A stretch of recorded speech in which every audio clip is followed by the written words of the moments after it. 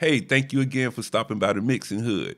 I hope you got something out of this video. And if you did, even if you didn't, please hit the like button. And if you would like to, please subscribe for future videos. And like I always say, take what you need and leave what you don't. Until next time, holla back.